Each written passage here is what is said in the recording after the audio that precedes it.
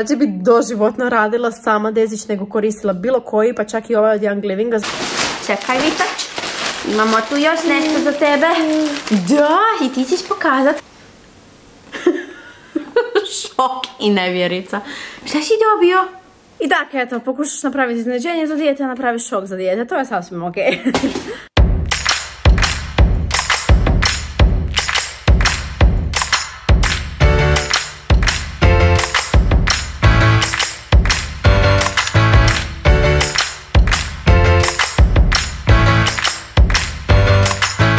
evo nas na jednom šmrkavom ponedjeljku, ja sam se danas ujutro probudila sa začepljenim nosom, nije ništa strašno, djeca su bila nešto kao polu šmrkava, njih je jako brzo prošlo, vjerujem da će meni jer ne osjećam apsolutno ništa osim što imam mrvicu za čepljen nos. To ću ja danas već sa svojim uljima srediti tokom dana, uopće se ne brinem oko toga. E, sad idem upravo napraviti svoju guaša masažu, jako sam zadovoljna zapravo kako mi je koža od te e, guaša masaža, kako mi je mekana ovoga i ajmo reći nekako ne znam ko elastična, ako tako mogu. E, to mi se sviđa, jedno što mi se ne sviđa trenutno kod moje kože što je poprilično nečista i pretpostavljam da je to zbog hormonalnog disbalansa, to jest namjernog hormonalnog disbalansa u kojem se sad trenutno nalazim. I ovoga, baš sam si razmišljala o tome da ću morat e, više pažnje e, jednostavno posvetiti tome, iako ne znam iskreno hoću li moći nešto riješiti, jer kao što rekao, znam da mi je od hormonalnog disbalansa koža takva, e, samo što ne smijem sad trenutno raditi na tome da hormone izbalansiram do 11. mjeseca, znači kad ću ići na to zračenje ovoga, tako da ne znam iskreno hoću li moći e, nešto popraviti po tom pitanju, probat ću nešto ovako barem malo izvana njegovat da se smiruju te, ajmo reći, upalice, iako to nisu nikakvi veliki upaljeni prištići, ne znam koliko se to sad vidi, ali samim time što mi je koža tako šarena mi ide na živce jer nikada nisam imala tako lošu kožu. Tako da, probat ćemo nešto po tom pitanju, iako velim sumnjom da ću uspjeti s obzirom da znam koji je uzrok, ali na njega ne smijem djelovat.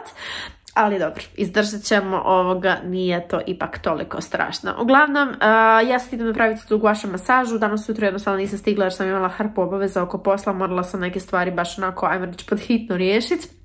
Ovoga, tako da sad tek idem napraviti svoju guaša masažu, onda idem u grad, moramo obaviti neke stvari, imam zapravo par lokacija koje trebamo biti e, da skupim neke stvarčice koje mi trebaju, ovoga, tako da mislim da će mi ono dosta vremena otići na to i onda kasnije ono standard kuhanje ruča, ručka, još malo oko posla, pa djeca dolaze doma i tako, uglavnom malo po malo idem e, sad to krenuti obavljati da što prije završim, pa možda još uhvatim koji period, onak barem pola sata mira dok moji pačići mali ne dođu kući. Nabavila sam danas jedan novi sastojak koji ću iskoristiti u jednom novom receptu. A moram reći da i u ovom trenutku kad vi gledate ovaj video, na mom YouTube kanalu već stoji taj novi receptić za dezić u stiku, za sve one koji imaju izuzetno osjetljivu kožu i koji reagiraju na sodom bikarbonu. Ja sam radila nekoliko recepata već od tih dezića. sa sodom bikarbonom mi je super, samo funkcionira mi onako par dana, pa moram uzeti par dana pauzu zato što mi soda izaziva iritaciju na koži. Tako da sam radila i verziju bez sode bikarbone, on mi je dobar, ali za neka intenzivnije periode kad se više znojim, kad sam više po stresu pa hormoni odrade svoje i tako dalje mi nije dovoljan. Tako da sam našla novi receptić za dezić sa magnezijevim citratom i baš se veselim isprobat. A u ovom trenutku na mom YouTube kanalu već postoji, sad ću vam tu gore iskočiti link, video do tog receptića, a ujedno u tom videu imate i nagradnu igru u kojem možete osvojiti upravo taj dezić da ga i sami isprobate. Tako da, škicnite ako već niste, jer je dobra prilika da isprobate nešto eto od prirodne kozmetike ovoga što bi vam se moglo svidjeti. Kad smo već kod dezića, htjela sam ispričati zašto sam posegnula za tim novim receptom, zato što su Young Livingovi dezići još uvijek na reformulaciji, tako da još uvijek ne znamo zapravo datum kad će se pojaviti na tržištu, a do tada se trebam snaći sa nekim drugim dezićima. I to sam već spominjala u svojim videima da u biti ja najviše volim te do it yourself po mirisu, po djelovanju, znači savršeno mi djeluje, taj čak i sa sodom bikarbonom mi je savršen, znači apsolutno niti jednom se nisam usmrdila ili tako nešto, čak i ono na najvruće dane, jedino mi je problem to što mi je koža jako osjetljiva pa mi reagira na sodu bikarbonu i tu mi je onak jedini peh.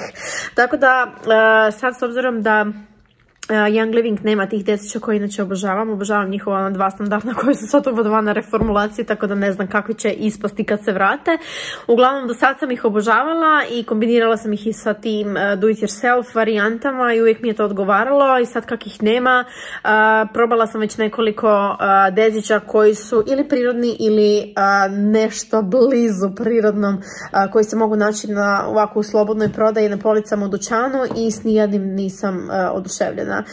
Prvo sam probala neki od bio baze, bio mi onako lila, s vremenom je počeo iritirati zato što u sebi isto ima malo sode bikarbone, iako sam mislila da to možda neće smetati, ali definitivno je.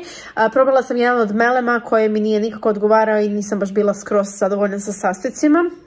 E, zadnje što sam probala, probala sam ona sve vrste imortelinih e, dezića. E, najviše sam očekivala i najviše sam se veselila zapravo onom sa mirisom citrusa koji mi na kraju nikako nije odgovarao.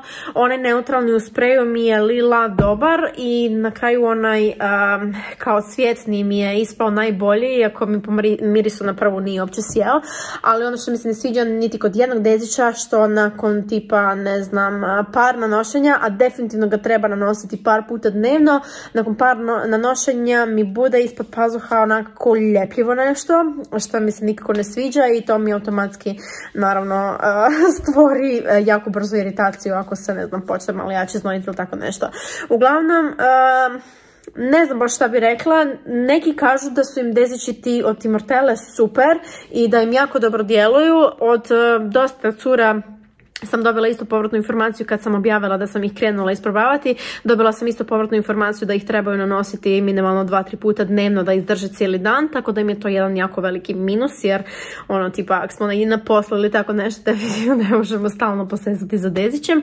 Tako da sam ja i dalje u potrazi za prirodnim i veselim se isprobati ovu varijantu sa magnezijevim citratom zato što sam čula od dosta cura koje su isprobale da im je zapravo super, da djeluje isto kao i onaj sa sodom bikarbonom, ali da je puno, puno nježniji za kožu. A osim toga, magnezij ima dosta dobar utjecaj na naš organizam i, dosta ga je dobro i poželjno zapravo konzumirati, tako da se baš veselim isprobati i nadam se da moja koža neće i njega odbaciti, jer iskreno rečeno, ako nađem neki savršeni recept koji mojoj koži odgovara, a da je u do it yourself varijanti, rađe bi doživotno radila sama dezić nego koristila bilo koji, pa čak i ovaj od Young Livinga, zato što su mi moje kombinacije eteričnih ulja koje ja stavljam u dezić, a vidjet ćete to u tom e, videu, meni su one najomiljenije i toliko fino mirišu i toliko mi dobro djeluju na organizam da je to nešto mm, savršeno. Tako da se nadam da će ovaj biti super, a, a to ćemo vidjeti kroz koji dan.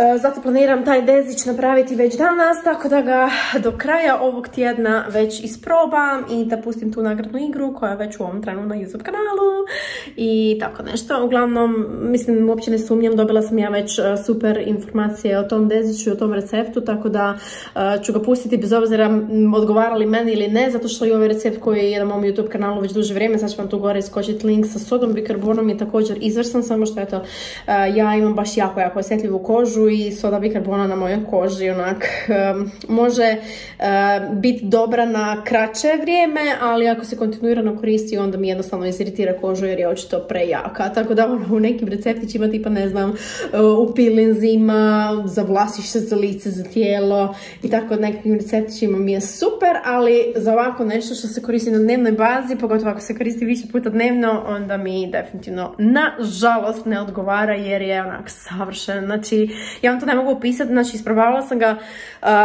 ja mislim prošle ili pretprošle godine, na najvruće dane u ljetu, uh, u ljetu, u ljeti, najvruće ljetne dane sam ga isprobavala, nisam ga, uh, znači, stavila ono minimalno, minimalno, minimalno sam ga stavila, nisam ga imala potrebe cijeli boži dan stavlja, znači, niti mrvice se nisam usmrdila, cijeli dan sam mirišala onak, mm, savršeno, tako da, baš mi je žao što, eto, ne mogu podnijeti tu sodu na koži jer je to nešto onak fantastično, a nadam se da će ovaj magnezijev citrat zapravo odraditi dobar posao te sode bikarbone i da ću isto toliko zadovoljstvo dobiti od ove nove sensitive verzije. A sada se bacam na završavanje ručka. Danas za ručak imamo krompir guloš. Iako je krompir namirnica koju ja sad baš ne bi trebala jest s obzirom na inzulinsku rezistenciju. Opet jednostavno ne mogu biti svaki dan baš po PS-u, tako da ću ipak malo pojesti ovoga. Ovo je u biti e, skoro pa gotovo, moram još jednu zgusnuti ovu juhicu, a to radim na način da jednostavno e,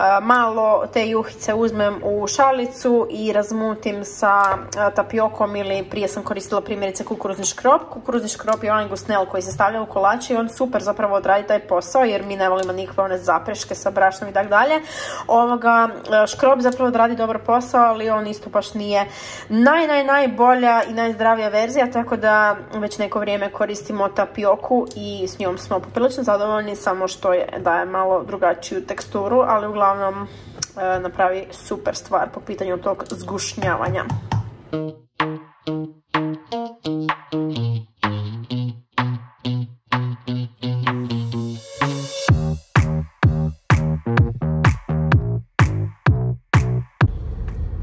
Neko ide po prvi put u životu u park. Ja, ja, ja. To jest e, prvi put u veliki park, da se bolje izrazimo, jel tako? Ja bi išla radiju u Donji. U donji, ićemo i u donji i u gornji, može? Može. Okej. Ja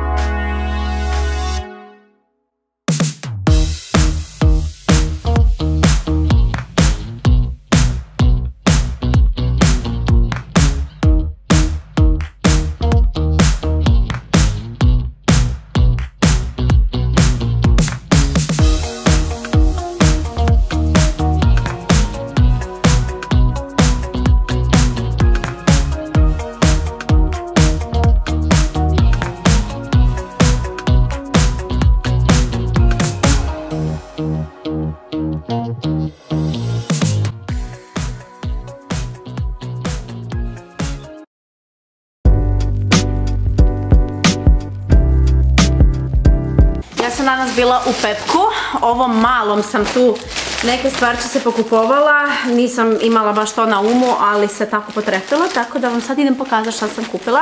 Kupili smo Vitiću jedne kratke ljetne hlače, onako su tipa nešto ko lanene, nisam iskreno gledala koji je e, točno sastav u pitanju, ali su onako totalno lagane hlačice, e, to će mu biti super za ljeto. Onda sam uzela ovako malo, up, jednu majičicu kratkih rukava na dinosaurića, broj 98, a, te stvari iz pepka se inače malo stisnu. Onda sam uzela jednu ovako a, majičicu, također broj 98 na prugice. Čekaj Vitač. Imamo tu još nešto za tebe. Da, i ti ćeš pokazat. Onda tu imamo jedne slatke traperice, onako kao slim fit su više broj, tu imaju kao jednu malu eh, broj, to jest model. Ovoga, vraćam ti košu. imaju tu kao jednu malu žiraficu i ovdje imaju kao jednu malu zebru, baš su mi se svidjele, pogotovo što su ovako kao malo izlizane. Dosta su onako rastezljive, vidjet ćemo kako ćemo odgovarati. Tu imam, ja mislim, evo ih još jedne traperice, ali ove su kao više kod trenirkica, iako je nekakav onako, ajmo reći, lagani traper materijal. Tako da mislim da ćemo ove definitivno pasati, a za one prve ćemo vidjeti. Uglavnom, ove su isto onako malo uži kroj. Meni je to fora, ja ne volim kad na djeci sve visi. Tako da ovoga, mi većinom nosimo veličinu... Ne, kameru ružat! Tako da mi većinom nosimo veličine koje jesu na redu i da nosimo ništa preveliko. Uglavnom ovdje je jedan prslukić kad dođu onako malo topliji dani, iznutra ovako svjetlo plave boje, izvana je sivi, ono neutralan, nije predebel, nije šuškav, ja iskreno više volim ovakve materijale nego one šuškave. Onda imamo jedne čarapice sa ovim, kak ja kažem, čepićima dolje da se ne skližu. I mislim da je to od robice to i sad ide onaj glavni dio, sad ću primiti Vitu da vidite ovoga kako će biti reakcije, da vidimo hoće se gospodinu vidjet. Čekaj, sad ćeš vidjeti šta si dobio, gle. Gle šta ti je mama kupila. Vito obožava dinosaure. Ha? Šok i nevjerica. Šta si dobio?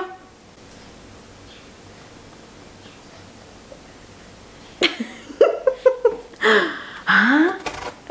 Uh, nije crveni ko onaj prvi šta imaš, ali će isto piše I walk and talk. Znači trebao bi hodat i kao pričat, jel?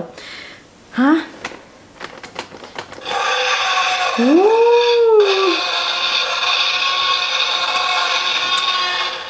Oduševljenje je na razini. Iako ovo zapravo je njegova oduševljena faca, on kad mu se nešto svidi, on tamo stane i gleda. ha, ćemo ga otvoriti, čekaj, sad ćemo ga otvoriti. Ok, povlačim što sam rekla, uopće nije sladak, nego totalno creepy. Oh, Jesus. A Vito je u šoku. Vito, kakav je to strašni dinosaur. Ha? Šta je to mama kupila? Bože, sačuvaj. I tako, eto, pokušaš napraviti iznenađenje za dijete, a napraviš šok za dijete. To je sasvim ok. Čini se da bi ipak moglo biti nekakvo prijateljstvo između ovog dinosaura i Vite. Vito, ti se sviđa dinosaur, ha? Viš kako je strašan. A, Duša mala. Da, pa strašan nam je. Uuu, gledaj kako velike džube ima.